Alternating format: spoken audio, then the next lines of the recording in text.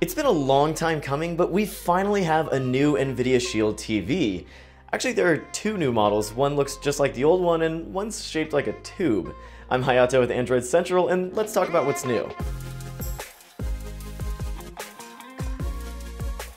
So the Shield TV's basically been the king of streaming boxes for the last few years, and it's only gotten better with the new refresh. The standard 2019 model comes in this weird cylindrical shape that you sort of just leave on the ground.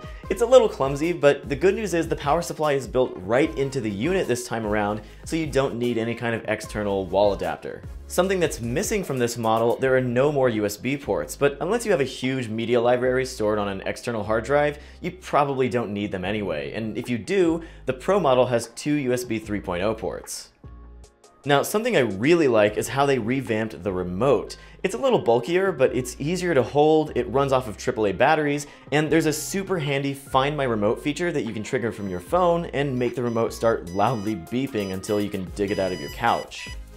Even more good news, if you're still perfectly happy with your current Shield TV, this remote is fully backwards compatible, so you can pick it up separately and use it with older models, which is awesome. So enough about the hardware, how does this thing perform as a streaming box?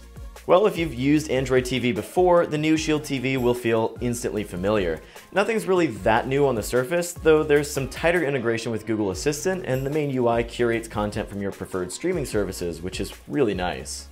The big improvements are under the hood. The Shield TV supports Dolby Atmos, Dolby Vision, and HDR10, and NVIDIA is using its new Tegra X1 Plus processor to enable AI-based upscaling on lower res content. Now, that doesn't mean that 1080p or 720p video is magically going to look just as good as native 4K content, but it does look noticeably better than other upscaling solutions out there, and it pays special mind to details like hair and fabric patterns. So what don't I love about the Shield TV? Well, there's no passive cooling, which means there's a tiny little fan in there, and given that you're supposed to just leave this thing on the floor by your TV stand, I've got a few concerns about dust and long-term durability. You also don't get an HDMI cable in the box, which is a pretty weird omission, but most people probably have one sitting around the house, and these are pretty minor complaints, especially considering the Shield TV only costs $150. For that money, you should absolutely go pick up a Shield TV. You'll be getting a dead simple, polished experience with great content upscaling and even some decent gaming capabilities. Put simply, this is the new Android TV streaming box to beat. Hey everybody, thanks for watching. If you enjoyed this video, give it a like and subscribe to the channel. You should also go check out AndroidCentral.com for our written review on the Shield TV, and if you want another take, go watch Phil Nickinson's review over at Modern Dad.